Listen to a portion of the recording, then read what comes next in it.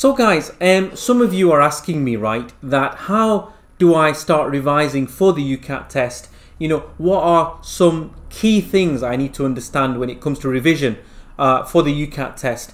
Um, as you can imagine, right, um, I do full day courses uh, for Blue Peanut and we look at all these UCAT sections, um, strategies and so forth in extreme detail, right, in a lot of detail and it takes a full day to do this. So I will not be able to do justice by trying to do this here over a few minutes. So I'll give you a few key pointers, okay? First of all, one of the reasons why I say try to revise from at least three sources, try to at least do one source which is online, that's because I want you to get familiar. I want you to familiarize yourself with the different question styles. And you'll find that different sources seem to have a slight different emphasis on the type of questions um, they use or the kind of gravity or the difficulty of the questions. Again, I find that varies between different revision sources. So that's why I recommend multiple sources, at least three, over a 10 week period, and familiarize yourself with the various um, different styles of questions. Remember, you will not have a physical calculator on the day, so Another thing to do is familiarize yourself with online calculator. So if you, for example, from a book, if you revise from a book, if you uh, you know revise online, always use the online calculator on your laptop or your computer. That way, you're more used to using the mouse to uh, work on the calculator rather than you know digital using the fingers to use a physical calculator. It's just another trick I find that saves valuable seconds. Okay, now you ask me about official um, UCAT site. Okay, um, many students ask me that. Is that enough? Um, you know, is that good enough, or should I even refer to it? Um, and I'll tell you wholeheartedly, I think the official uh, UCAT site is really good. Um, they give you some really good guidance. They give you some examples of questions. So by all means, uh, use that as your initial point of guidance and source of information. Make sure you do that it's um, really useful to do that to get a broad understanding of what the UCAT test is about. Is it enough? Uh, no, of course it's not.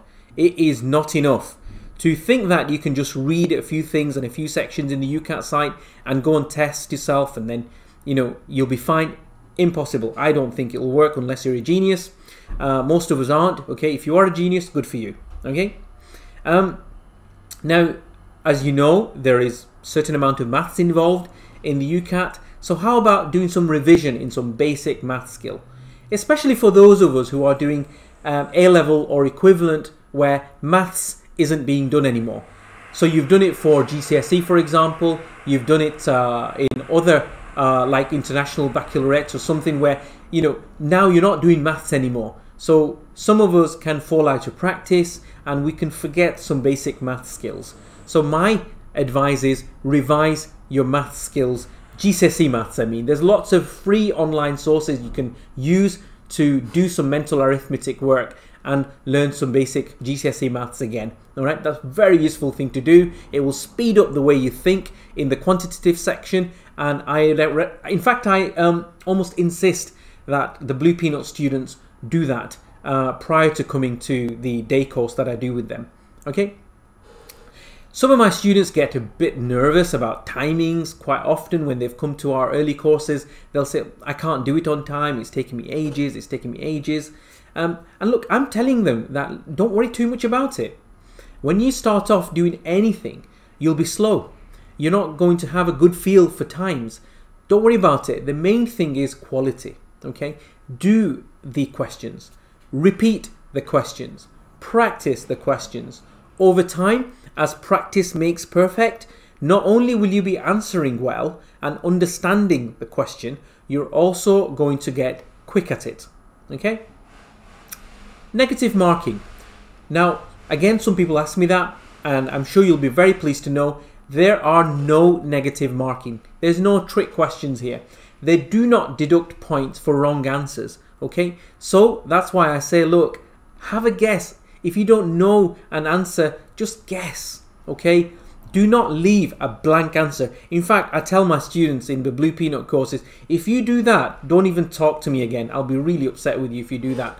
Never leave blank answers, okay?